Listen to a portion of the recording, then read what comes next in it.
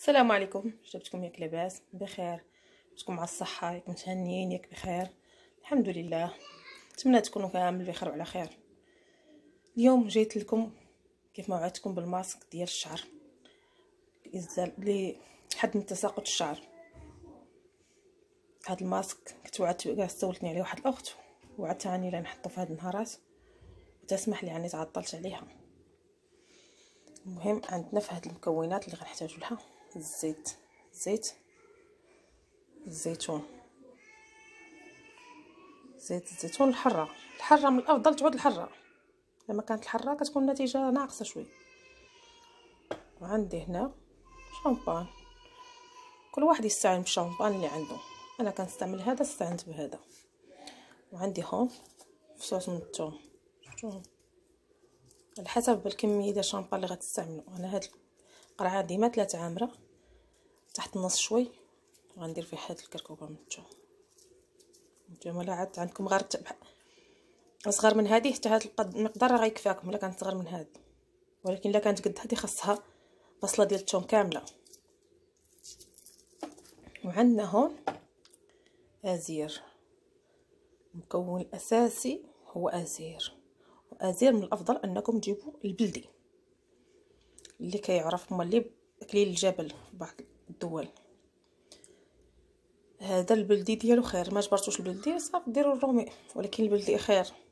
كاين راه كاين مولي حتى الزيت ديالو كينباع زيت أزير.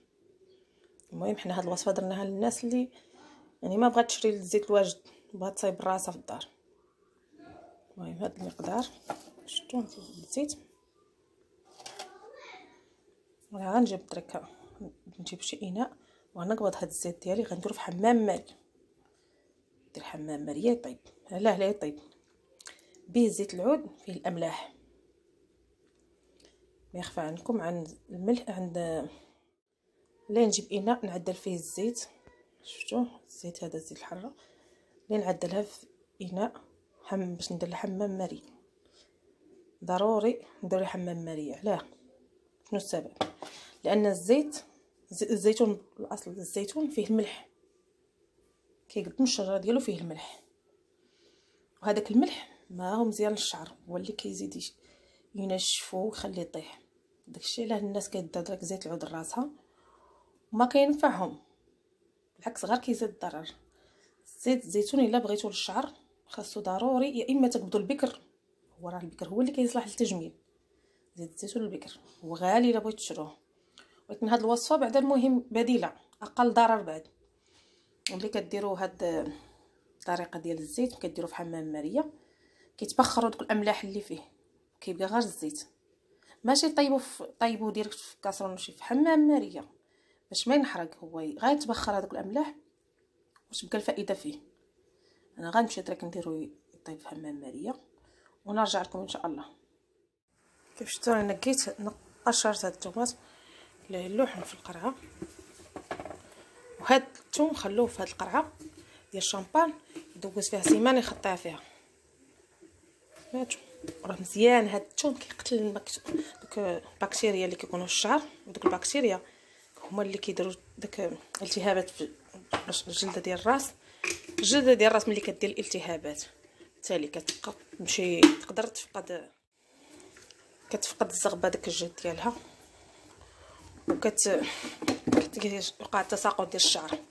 داكشي علاش حنا دابا هذا غادي نديروه باش غنحمو الفروة ديال الشعر.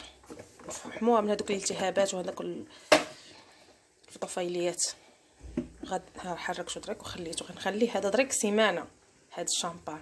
فيه هذاك الثوم يطلق فيه مزيان ونعود نغسل به فيما غادي نبغي نغسل شعري غنغسلو بهذا الشامبان. ما كتكونش فيه شي ريحة مجهدة. وحتى مولي اللي خاف من الريحة هنا غنعطيكم مولي الحل ديال الريحة. شنو؟ راه الحل الحل ديال الريحة كيف ما قلت لكم. والقهوه القهوة. العربية ماشي نسكافي. قهوه هذه الحبوب اللي كتنطحن. اللي كتندار في القطاره ولا كانوا شحال هذيك الناس يطيبوها غير في كاسرونه المهم هذه شفتوا؟ أنا ما بغيت نسحب بيدي فيها الثوم هذه هي القهوة العربية اللي كتندار كتنطبخ. وهي أصلا حتى هي مزيانة في الشعر. نطبخوها مزيان. ندخلوها معنا للدوش ملي نكمل نغسلو نديرو شامبان ديالنا نغسلو نديرو هاد القهوة نشلو بها شعرنا. هو الآخر المرحلة الأخيرة ونخلوها فيه ديك القهوة كتحيد الريحة ديال الثوم كتهرسها كيبقاش ريحه الثوم وحتى الشعر كيستافد منها كتعطي واحد اللمعان. كيف ما قلت لكم ازير أنا ازير غادي نديه نديرو في الماكينة ديال الطحين كطحن العطريه غير شوية نهرسو. بغيتو تهرسو اللي حتى بيديكم بحالك تهرسوه الا كان قاسي غير كتمسو غير كيتدقدق المهم أنا غادي ندي نص عند الماكينة وغنوريكم كيفاش درت له كيف ما شفتوا معايا أنا هون تهضر كنت قلت عني كنصور جبرت راسي ما كنصور. هذا راهو طحنتو شفتوا؟ طحنتو طحنتو ما هو غير شوي. تقدو كيف ما قلت لكم ديروه نتوما غير في دقدقو غير بيديكم. إلا كان كاع كيف إنه يبس لكم. يبسو كيكون بالعجله كيدقدق غير باليدين مدقدق المهم هذا غادي نديروه في قرعة ديال الزجاج. أنا جبت القرعة ديال الزجاج. أي قرعة ديال الزجاج عندكم؟ confiture ولا شكلاط ولا قرعة كل كينباعو ديال الزجاج. المهم الأفضل قرعة ديال الدجاج. ما ديروا ديال البلاستيك لا غنديرو كامل هون في هاد القرعة. وغادي نجيب هذاك الزيت اللي طاب. غنكبو عليه داك الزيت اللي حطيناه يبربر أنا الزيت عندي أنا بربر. صافي تبخر منه هذاك الملح تبخر منه. غنجيب وغنكبو درك على هاد القرعة. نرجع لكم إن شاء الله. أنا غنكب هاد الزيت في القرعه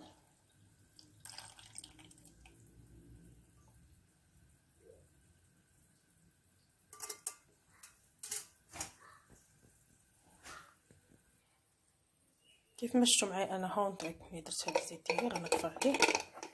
القرعه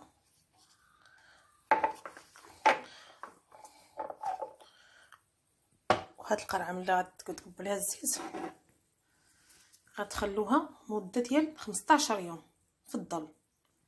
غنوريكم واحد المرحلة غديروها درك ضروري ديروها.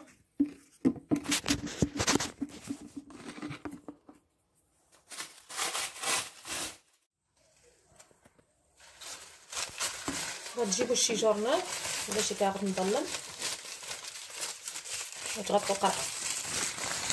شوف عندي هذا الكاغط هذا اللي كنخبز لك هذاك المكازات ثم تكتبوا اللي عندكم. المهم شي حاجة تعود مظلمه ما عندي جورنال درت هذا باقي جورنال مزيان ندير جورنال كاع مظلم خير. شوفوا عليها ها خاصها ما تشوف الضوء. لكن نعدل في البلاستيك باش ما يفتح ليا هذا. نفتح الجورنال نعدل البلاستيك العملية ضروري هاد الخطوه باش ما تشوفش الضوء. قدما ما شفتش الضوء قدما مزيان. كيتفاعلوا داك المكونات زيت الزيتون مع داك الازير كيتفاعلوا. شفتوا كيتفاعل زيت الزيتون مع الازير الضوء ما كيخليش العملية تكمل. شفتوا دابا هادي نخلوها 15 يوم بحال هكا فشي بلاكار ولا شي حاجة تزيدوا مزال ملي تخدموها. وتخلوها 15 يوم. يلا تبداو الاستعمال ديالها. تحسبوا لها إن شاء الله 15 يوم تبداوها. الاستعمال كيفاش؟ غادي بحال مثلا اليوم غادي نغسلوا راسنا في العشية مع الصبح ملي نقوموا غادي ندهنوه مزيان غادي تشقوا الشعر الفروة ديال الراس غتشقق به ماشي غير الزغبة الفروة ديال الراس لأن هذا مزيان الفروة. وغتشقوها مزيان شعركم غتجمعوه غديروا عليه شي زيف وغتخلوه. بلا ما ديروا الميكا. ديروا غير الزيف لأن فهمتي الميكا غادي ما غاديش تصبر الميكا. الميكا كتبغي غير شي ماسك اللي غديري غير ربع ساعة نص ساعة حتى ساعه كاع بالكثير أما هذا خاصو واحد اربعة سوايع حتى خمسة سوايع وانت دايرة. يعني إلا درتي في الصبح كنديروه من ربعة سوايع ل خمسة سوايع. ياك ندخلو نغسلوه. ملي نغسلوه غادي نديرو حنا ندوزو لهاد المرحلة هذه ديال الشامبان. نغسلوه بهاد الشامبان هذا. يعني هاد الشامبان مع هاد الزيت مزيان من تساقط الشعر بالتجريب هذا كاع الشامبان ما كيخليش ديك الالتهابات ديال الشعر وديك الجلد أنا علي مشكل ان ولا عندي الالتهابات في الفروة ديال الشعر ديالي. وملي درت هذه الطريقة هذه استعملتها ديال الشامبوان فيتو جربتها مزيانة. يعني efficace. ولا قديتو نتوما كاع تجيبوا شامبوان ديال الدراري الصغار. هذيك راه أحسن. أنا غير باش نكثر عليكم يعني أي شامبوان عندكم. أنا فاش مجرباها جربتها بالشامبوان ديال الدراري الصغار. شريت شامبان ديال الدراري الصغار ودرتو. كيما كتعرفوا شامبان ديال الدراري الصغار ما فيهش مواد كيماوية بزاف. يعني ناقصين منه بزاف. المهم قديتو تشروه. ديك مزيانة. ما قديتوش أي شامبان عندكم تستعملوا فيه. المهم بعدا غادي تستنفعوا من هذيك الثوم وكيف ما قلت الريحة نديروا قهوه طيبوها لي طيب مزيان. تغلى صفوها. ودخلوها معكم للدوش ملي تكملوا صافي تغسلوا تشلوا تكملوا. غسلوا بهذاك الماء ديال القهوة. هو التشليله الأخيرة وخلوه في راسكم. ما تعودوش تشلوه. خلوه. صافي مرقوا نشفوا شعركم مرقوا ديروا شي فوطة تكون اللون ديالها غامق لأن تعرفوا شوية ضروري كيطلق اللون. اي عندكم هاد المسائل اللي كتطلق اللي كتطلق اللون ديالها. الأفضل أننا نتفاداو نديرو الفوطات الفاتحين اللون بحال الحنة بحال هادشي ديال الماسكات. المهم نديرو فوطه غامقه للشعر عرفتوا هادشي لما يبغي يمرك بعض المرات من الفوطة. يلا نخليكم معنا في أمان الله. ونتمنى تطبقوا هاد الوصفة وتنفعكم. كيف ما كنقول دائما ما تنساوش جميل عجبكم هاد الوصفة عجبتكم. وتفاعلوا معنا. تعاليق وتشجعونا إن شاء الله وتدعمونا بكم. إن شاء الله حنا زيد ماشي لقدام. وإن شاء الله غنزيدو مازال نلحقوا لقدام إن شاء الله. وباش نزيدو حتى حنا نعطو. كتشجعونا حتى حنا مولين نعطو. إن شاء الله غادي غنجيب لكم وصفات كثيرة اللي هي طبيعية واللي مفيدة. إن شاء الله عندي ريبرطوار كثير. إن شاء الله كامل غادي نشاركو معكم كل مرة غادي ندير حاجة. وان شاء الله اللي حاجمنا يا الله نخليكم فمن الله. وما تنساوش أبوني اللي ما أبوني معنا يتأبونا.